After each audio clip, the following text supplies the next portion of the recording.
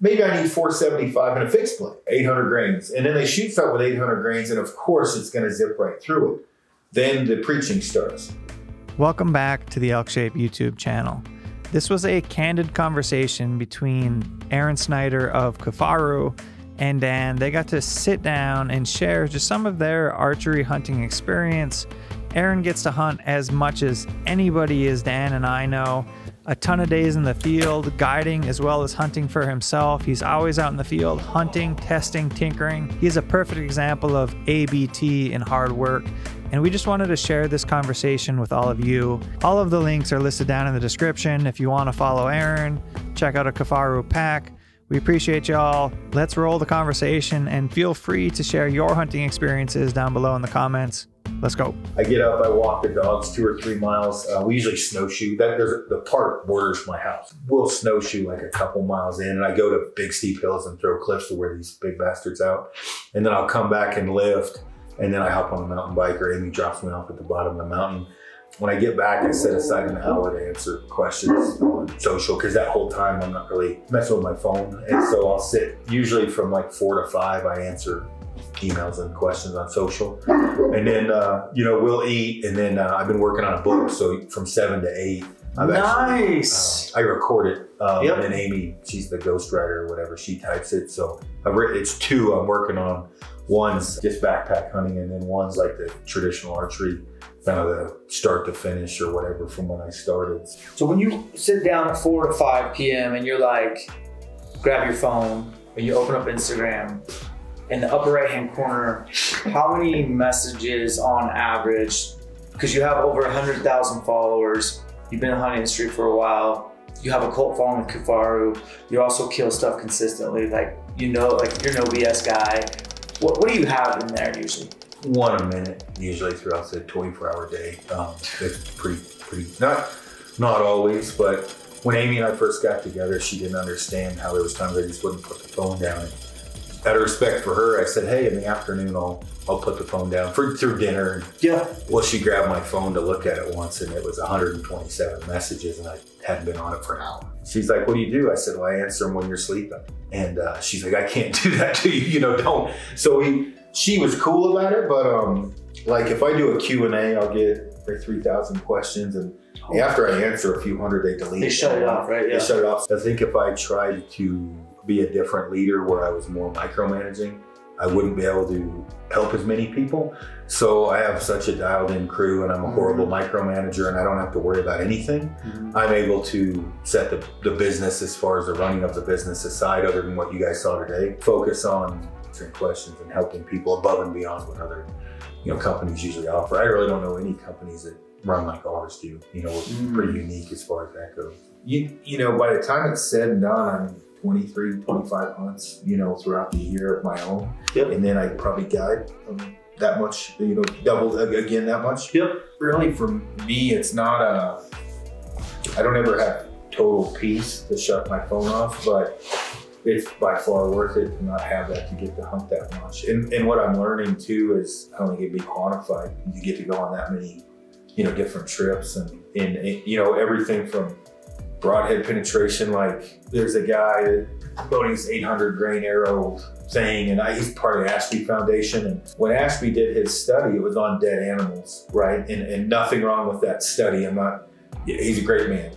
But I've been able to shoot hundreds of animals, and so I get to learn a lot about You think? yeah, so you know, it's, it's hard. It's hard for me to. There's a happy medium for everything, and like this guy, I think he just shoots pigs and stuff in Texas, and he's got this big push for 800 grain arrows, which was an Ashby thing. Um, 650 grains was the bone breaking threshold, and I've read all the stuff. What's the FOC uh, promotion at? They're extreme FOC at 23 plus percent Oh, wow. or something like pretty high. And I'm lucky enough that I've gotten to shot a compound a bunch and then went to a stick.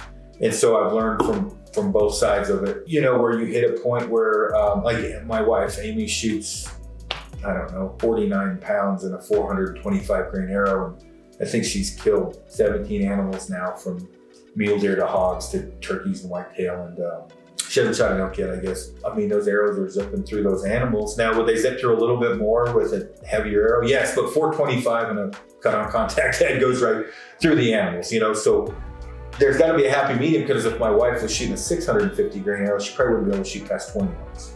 Well, yeah, that's where that that me- that happy medium goes. Yeah. And it seems like with a lot of the guys, they are they bring up when you hit bone. Well, I can tell you if you hit an elk shoulder, I don't care if you have 800 grains or uh, 500 or whatever, you're not going through the, knuckle of an elk shoulder. You go through the scapula, I mean, you say knuckle, you mean where the scap sits on the humerus, like that knuckle. That that's a pretty big intersection too. Like, uh, Yeah. and it's kind of right higher than where a lot of people end up aiming. yeah, higher and forward. And so when your arrow does go high forward, Yeah. don't matter what you shot. You Yeah, that's- spear. kind of like the accuracy rather than uh, maybe focusing so much on your setup focus a little more on accuracy work on your you know your shooting and my thing with guys is like hey i i get to hunt a lot and i get to guide a lot and, and i get to work with my wife and so i take all the knowledge that i learned from that and try to get people into this happy medium where you get decent speed and decent momentum and i you know i'm constantly learning as well but i with my stick bow i aim at the scapula and i shoot through it and i'm shooting a 580 grain arrow and a whopping 180 feet per second. I shoot through almost every animal I shoot at, and no Yeah. problem at all. Kinetic energy. I mean, Good, good the foot pounds. Yep. And momentum's everything. And I know you get a lot of prototypes to test with, and now you got a Snyder system. So let's talk your Snyder system and then maybe segue into that new thing that Bill's got cooking. Okay, cool. So the Snyder system was just a better micro diameter, a, more durable micro diameter system. You shoot X impacts? I do now. Yeah, I was Okay. shooting Rampages, which is a 204. Right. Um, I was I had designed a broadhead with uh, Rocky Mountain Specialty gear, a screw and three blade. Okay. and I was shooting that, and Bill, you know, asked, you know, basically just asked me what what else, what other designs do you have, and I said, well, man, I think that it's very valid to um, make a system the way I do my Rampage is a 204. I put the hit insert and the broadhead, and I glue it all in at one time. I don't, you Oh, no can't shit. the broadhead out. So it's all one solid system. Yeah, I glue it all in there. Easton technology, like hidden insert, Yeah, yeah, stuff, the Easton, the Easton hit. It's Bill's, but it's Easton. you know, license through yeah. that. Yeah. So I take the hit, and it's a 75 grain hit, and I screw it onto a. Um, depending upon how you do it, with, with the system I have, I have 275 grains of hit and broadhead. Yeah. So 200 grain head, 75 grain hit, and a 25 grain collar. I glue all that on and, and spin it and make sure it's good. And I build two or three or four dozen arrows for whatever I've got for the season. Spin them all, make them perfect, and then I I glue in the same principle. My field tips I glue in uh, with the hit insert, mostly just rigidity. I don't Yeah. have to. You glue everything, it's not going to pull out. You know, a lot of guys have issues with with components coming off or whatever. Yeah. Well, I don't have to worry about Bill's system bending, so it doesn't bother me to, to glue it in. Well, I said, man, I, I think it's it's a viable system to do for a skinny, a micro, and you wouldn't have to worry about durability. And so we redesigned his system to work for micros, where you can use it like a hit, or if, uh, if you just run the standard broadhead with the shank, you can glue it all of it in. Almost impossible to have it spin badly because of the collar and everything else. It's more durable than any other micro system, or as durable than any other micro system out there. And you get the choice of three different. You got a standard vented, a standard solid, wide vented, wide solid, and now you have uh, the single bevel that he offers. So with a single bevel, he just did it. I think if people pestered him so much, you know, the the single bevel, the, the concept is when it hits a bone, it splits it. Yeah, Yeah. it's just. Well, it also does a little extra damage in the body cavity. So rather than a flat hole, you have the bleeders and it's rotating. A So- channel, Yeah, like a square, basically. which through. excites me Yeah. because I was worried about. I kind of want a square Yeah. or a triangle hole on both sides. So as you guys saw, my mess downstairs, all of that scattered out from I'm constantly testing stuff for people and bows, even compounds. Some of the stuff is quelling bro science, right? Like you you hear the 800 grain thing. Well, what is amazes me with that is it's a guy that shot a mechanical that shot a 400 grain arrow, hit up in the scapula, arrow stopped. Rather than just gradually going up and saying, you know, 400, maybe I need 475 in a fixed blade, 800 grains. And then they shoot something with 800 grains, and of course it's going to zip right through it. Then the preaching starts. I've shot this many animals and I had arrows bounce off, and then I'm shooting an 800 grain arrow and I'll never go back. And it's like, well, dude, you you literally went from north to south. There's a happy medium in there of a, you know, let's say a 475 to 550 grain arrow doing 265 to 280. That's where I like to Those be. are all sweet spot. Yeah, Yeah. there you go. And honestly, for those that are watching this, like you gotta put yourself in my shoes. I don't shoot fast arrows. I got a short ass throttle. It's 27 inches.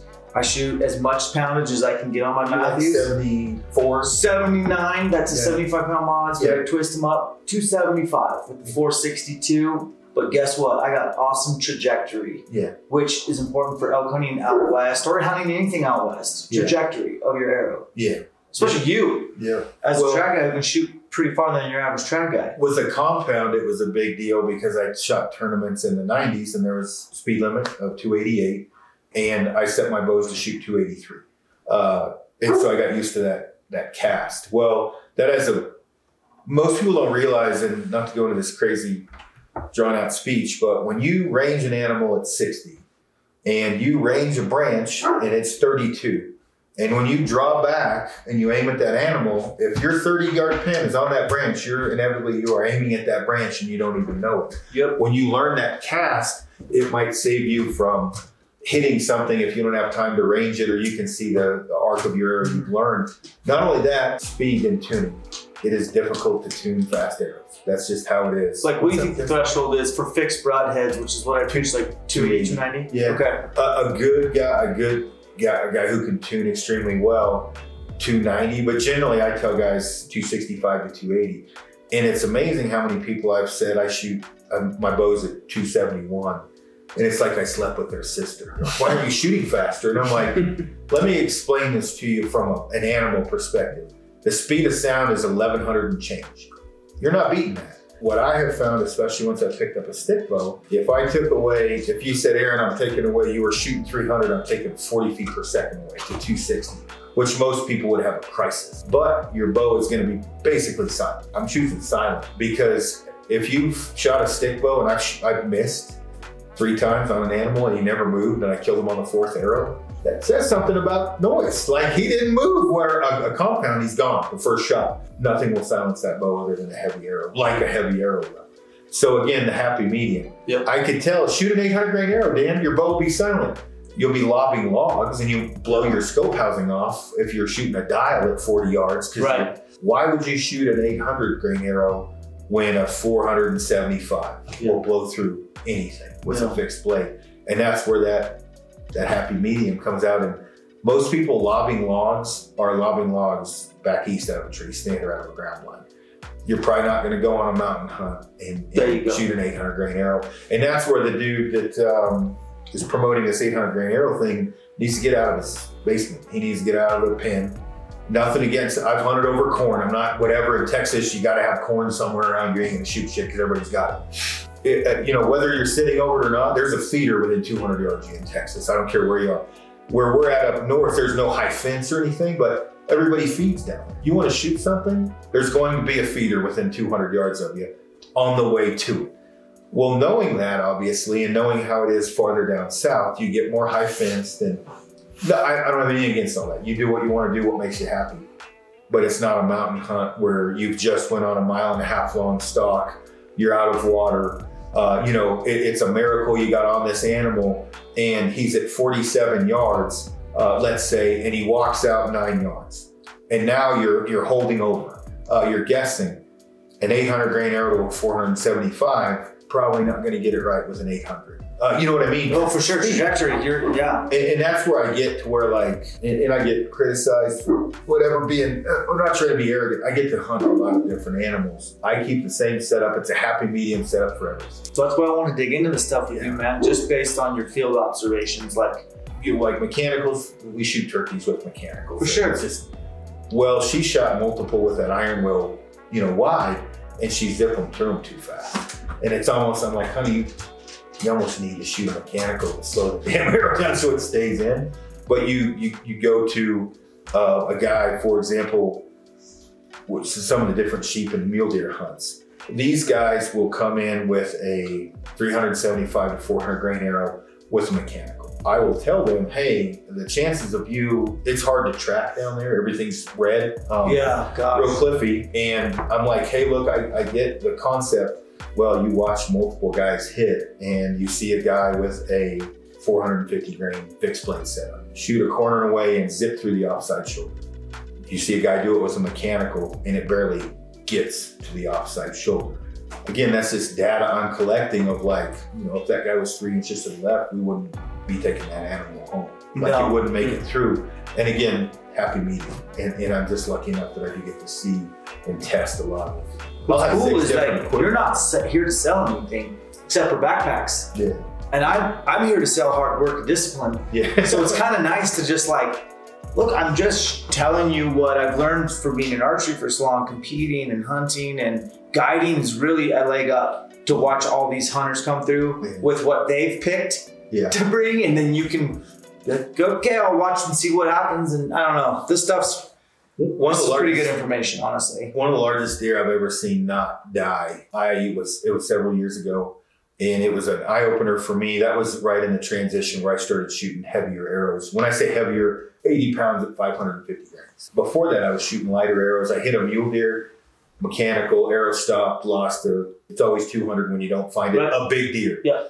This kid I was with, he got permission permission to trespass through this land. Giant mule deer. Was on the western slope. And I shot my buck. It was just a big, gnarly three by four. Uh, he had a couple days. I'm like, let's get you a deer. I watched him hit a legit 210 inch typical four by four. I didn't know what his setup was. I watched arrow hit, hit the rib vertical. I watched that rib flex in, and it was a rage, and the arrow bounced out. Deer was probably 325 pounds. It just split it vertical on the rib, and I'm like, "You think it'll die?" I'm like, "I just watched your arrow bounce out, bro. What the hell you shooting?" Drew his bow back, 61 pounds. 348 grain arrow with the rage and, and Chuck Adams was on the the front of the package axe through an animal you know and, and the, the kid just thought that's how many people are doing that? How many people are walking in because of marketing and buying a specific product when that's kind of our jobs now and, and others to hopefully get some common sense to the industry and, and knowledge There's so many new archers right now that we're like been on a rampage trying to get with guys like you and and uh, my buddy who Josh owns the shop, great guy, and just just dispel myths and just a more experienced narrative out there. I would Yeah. say. Yeah, and I would say like uh, people ask me all the time, if you're going to shoot a compound, what would your setup be right now?